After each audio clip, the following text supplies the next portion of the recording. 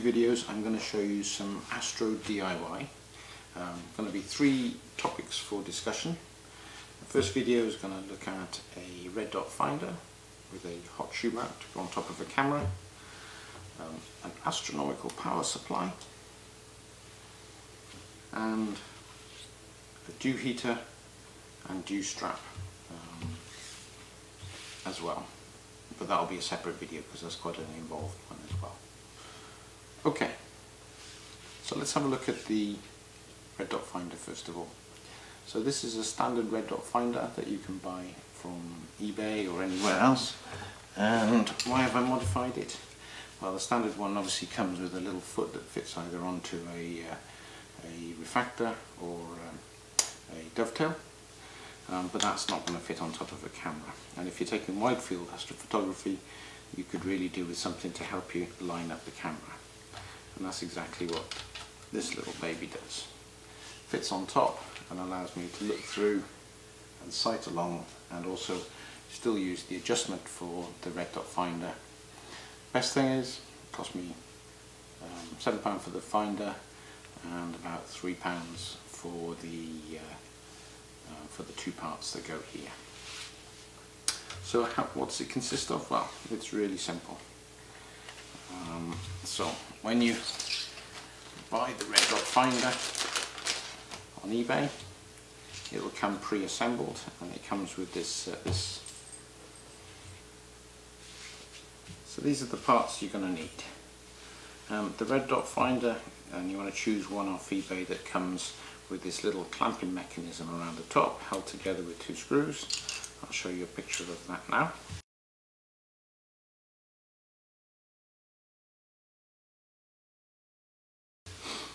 Then you need a light stand to flash hot shoe adapter um, also available from eBay China um, for very little money and finally then you want and I got the double version of this which is basically a uh, cold shoe with two knurled locking nuts. One will lock into the underside of here, um, so you just need to screw it in. And let's just make it a bit lower down. We don't need too much space with it. Okay. Anything we do want to do is line it up so that the, the square is um, at an angle. Okay, so we take this off, you undo the two screws and, and remove the red dot finder from the, um, from the base. And then what you'll find is that the base here actually is a little bit thicker, in fact it's, uh, it comes all the way along and these are slots so that the screw heads can be held in place like so. So what I've done is to go along on either side and Dremel away. And the reason is if you look at the, um, the depth here it's relatively short. And to get the grip onto the uh, adapter like so so that it doesn't fall off um, you need to, to Dremel it away. Uh, but that's it, nice and simple and for a tenner I've got something that uh, works a treat for wide field astrophotography. Good luck with that.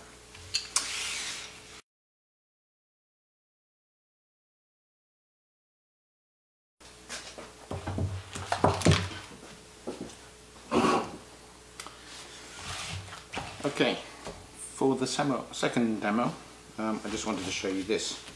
And uh, yeah we you probably have something similar. Um, it's lots of different power supplies one for the scope one for the dew heaters one for the camera. Um, in my case I use laptop power supplies. Um, and they're good. Um, they come with these long IEC cables often. And then you have to mount up with uh, um, cigarette adapters on the back end and it was okay um, but in the cold you can see it's quite a lot of mess, it gets tangled, not easy to use because very stiff in the cold I have to say and that's even without having to have the uh, proverbial reel of uh, um, power cable running out from the garage. Um, so what did I do? I wanted to replace all of that uh, and also enhance it and so what I've come up with is this. And uh, yeah just to show you. First of all so what I've got on here is XLR connectors. They're the connectors that are typically used for um, uh, microphone um, and studio work. So they look a bit like this and I've chosen the three pin version of it. Um, so they're locking that's the good thing which the cigarette lighter plugs aren't. So when I plug in, it's uh, secure, and then to take it out, you can just press the button and away it goes. Um, yeah, I've run 10 meters of, and I only need low, um, low power cable really, so this is just 5 amp cable. Um, so 5 amps at 240 give me the 22 amps uh, out of the internal power supply in this, and that's enough to drive um, I've got three uh, XLR 12 volt connectors, a little um, 2.1 pin that's also a uh, 12 volt power supply and that goes to a powered USB hub which is also a charger um, which will act as both a hub for my camera and my mount and guide scope and also can charge for instance the, the, the camera and, and my phone if I wanted to and I've just mounted that on velcro like so so that uh, I can take it off when I need to. Um, the good thing about this, I mean you can buy something similar on the market, it'll cost you several hundred pounds. Um, the good thing about this, in total it cost me 25 pounds. Um, so really uh, worthwhile saving. Yes it takes a little bit of electronics um, uh, but nothing nothing more than uh, simple soldering skills. Um, I did make it slightly more complex by making the uh, the fourth connector here. I've got to put the labels on it yet, uh, but the fourth connector is actually a uh, 6 volt, so I had to make up a little circuit for that, um, but I'll show you that shortly as well. Okay, let's have a look inside.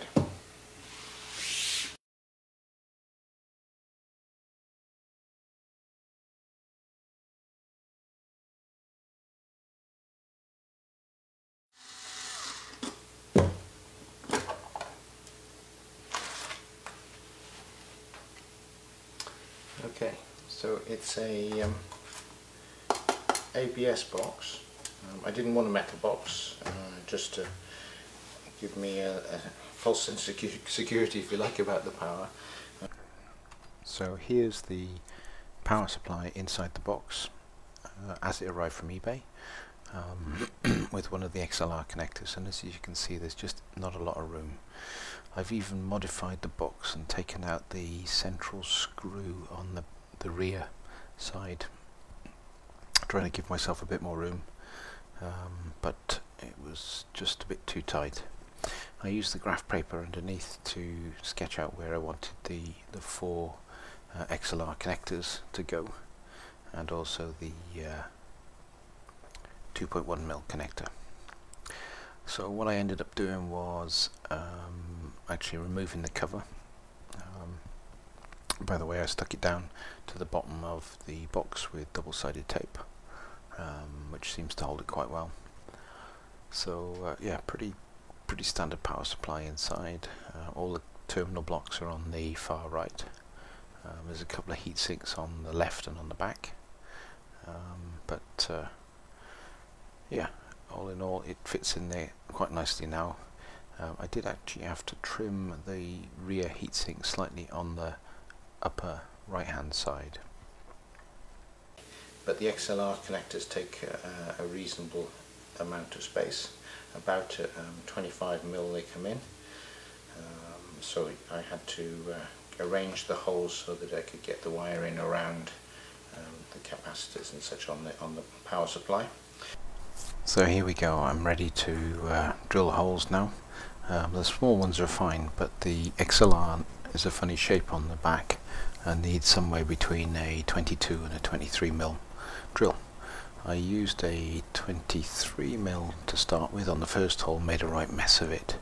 Um, ended up changing to a, uh, a wood boring bit um, at 22 mil and that was a lot better. Okay, so this is what it looks like inside the box when it's uh, all the holes are drilled and it's finished being wired up.